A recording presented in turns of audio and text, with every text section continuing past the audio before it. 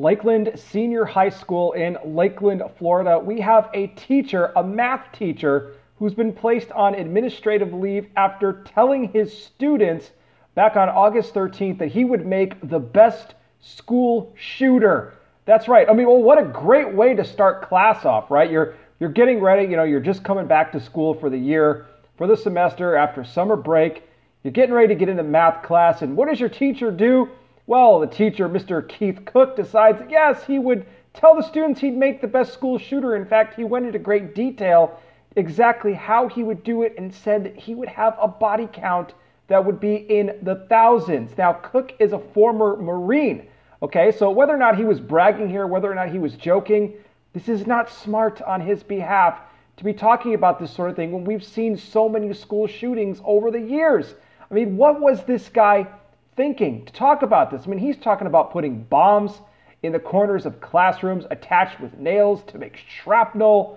I mean, you know, planting IEDs all over the school, firing off thousands of rounds of ammunition. I mean, this guy is absolutely sick in his head. Now, police had invoked what they call a risk protection order against Cook for this, meaning that they could, if they found any, they could seize any weapons that they may have found of his, whether it be in his car, in his house or whatever. Police did search all of those locations, but they did not find any weapons in his car or at his home or anything like that as this investigation has been going on.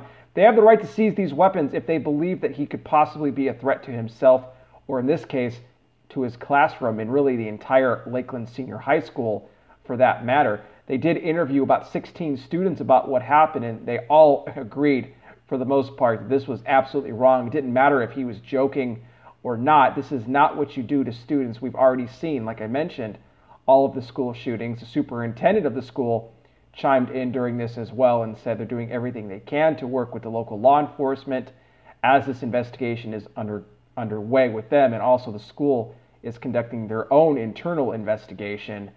Cook is scheduled to appear back in court on August 30th uh, for the uh, final uh, results here of the risk protection order. Uh, but he's on administrative leave right now, and of course, probably means he's getting paid. Uh, what do you think should happen with him here, guys? What do you think his fate should be? Do you think he should be fired? Uh, do you think he should be suspended? You know, or what do you think? I mean, for me, I think he should be fired. I, I honestly do. I think this is too sensitive of a subject. This is a real life thing. This is happening all the time. Let's not forget, we also had all the shootings that took place at the Walmart just a couple of weeks ago.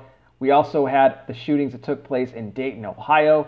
You got Ohio, Texas. I mean, Florida has seen their share of school shootings as well. I mean, it's inappropriate. It shouldn't be done. And I think he should have to be responsible for that, pay the consequences, and lose his job. But, guys, that's just my opinion. I'm done here. Let me know what you think. Sound off down below if you enjoy these videos. Please consider giving them a like and a share. Also, subscribing here if you are new. I greatly appreciate all of your support. Thank you so much for spending a couple of minutes of your day with me today. I'll be back with more. You guys take care. Please be safe out there. God bless each and every single one of you. And I will talk with you soon.